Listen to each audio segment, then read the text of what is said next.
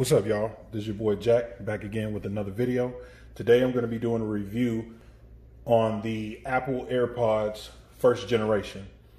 Just like my other reviews, I'm going to go over the stats and then I'm going to give you my personal opinion and then I'm going to get you guys up out of here.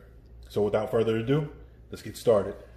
Uh, first things first, no noise cancellation. With these, uh, that's a feature that they probably missed out on because they don't, they're not super secure inside your ear. So a lot of noise kind of gets in there, a lot of wind noise and things like that. So just be wary of that. Talk time is uh, three hours. Music playback is about five hours. The overall standby time is about 19 hours with the case, 24 hours for the second gen. Charges in about an hour via lightning cable, no wireless charging on the first generation, but the second generation has wireless charging, has a 20 minute quick charge feature that'll give you about two and a half hours of playback, which is clutch. There's no official waterproof rating, but I know people have worked out with them and, you know, lifted weights and ran and things like that. So just, there's no official rating. Uh, they have dual beam forming microphones, motion and speech detecting accelerometers, to improve the mic quality.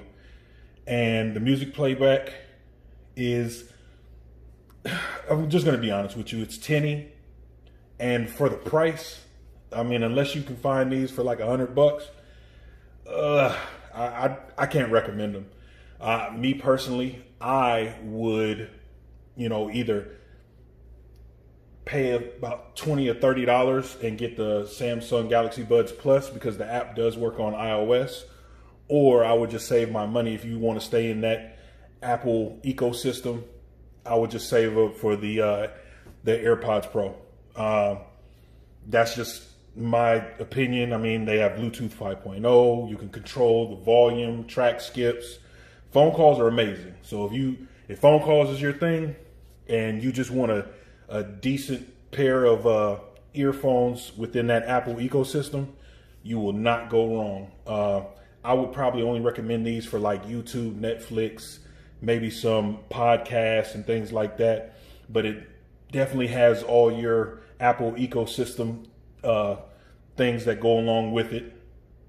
It has the W1 chip in the first generation and the H1 chip in the second generation. It can read text, has Siri, uh, magnetic charging case, auto pause and play uh, has pretty much all the features that you would want, you know, with a nice pair of buds. I just think, me personally, I just think that they're overpriced. Uh, I would definitely wait for a deep, deep sale, and that's just my opinion. But uh, this is the case itself. Uh, I have this location there. I'll leave the link in the description. They have all kind of little superheroes and things like that. So I'll just crack them open real quick. And, you know, I'm pretty sure you've seen everybody named Mama with these on. I'll just do it so you guys can see. You know, uh, I just don't like the fit. I guess it's just, you know, uh, whatever uh, ear type is. And that's just with it, whatever you go with. Some people love them. Some people don't love them. My opinion, either get the uh, Buds Plus or save your money for the AirPods Pro. That would be my opinion. But again, I'm just a guy on YouTube. so, well, I'll get you guys up out of here. You guys take care of each other. Peace.